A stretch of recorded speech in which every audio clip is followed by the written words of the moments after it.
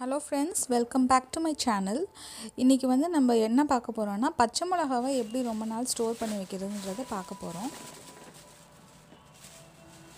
So நான் மொத்தமாக பச்சை மிளகா வாங்கிட்டேன் இது வந்து ஒரு மாதத்துக்கு வரும். நல்லா கழுவிட்டு காய வச்சுருங்க. அதுக்கப்புறமேட்டு இந்த மாதிரி காம்பை எல்லாத்தையும் எடுத்துருங்க. பச்சை மிளகாவில் இருக்க காம்பை எல்லாத்தையும் நீங்கள் எடுத்துடலாம்.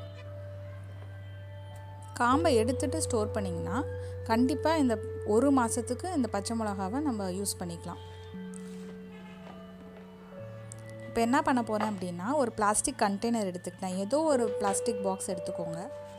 எடுத்துகிட்டு அதில் நான் டிஷ்யூ பேப்பர் வைக்கிறேன். டிஷ்யூ பேப்பர் இல்லை அப்படின்னா நீங்கள் நியூஸ் பேப்பர் வச்சுக்கலாம். அப்படி இல்லைன்னா அந்த ப்ரௌன் கவர் சூப்பர் மார்க்கெட்லலாம் தருவாங்களே வெஜிடபிள்ஸ் போட்டு அதை நீங்கள் யூஸ் பண்ணிக்கோங்க.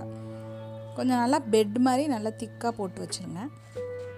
அப்புறம் அந்த காம்பு கிள்ளின பச்சை மிளகா இருக்குல்ல அது எல்லாத்தையும் வந்து இந்த மாதிரி பிளாஸ்டிக் பாக்ஸில் போட்டு